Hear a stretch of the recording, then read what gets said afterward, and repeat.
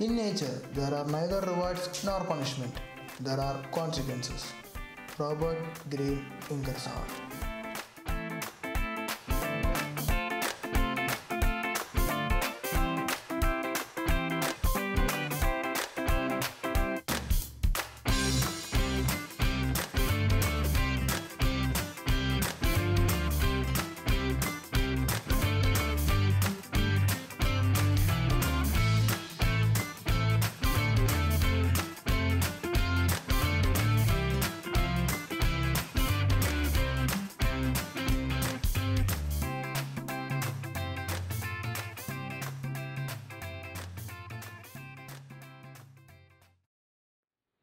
Creative Hut Institute of Photography.